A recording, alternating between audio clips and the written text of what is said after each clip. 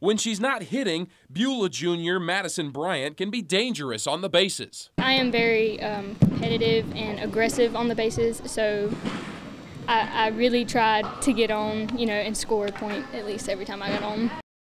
Bryant hates to run, but loves to steal bases, I mean. Her rec league team gave her a fitting nickname, one of several. They did call me Flash that the whole time there, um, but really, Speedy, just anything, sure. yeah. Bryant won the Flash Award last year for most stolen bases on the team.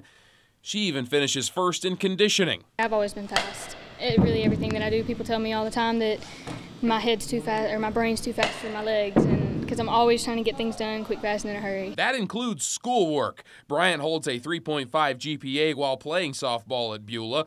She's the leadoff hitter while leading the Bobcats this season. When I talk about hustle, all I got to do is point to her, and um, the girls know that she's hustling all times. On the field, her coach says he has to sometimes get Bryant to throttle back a bit.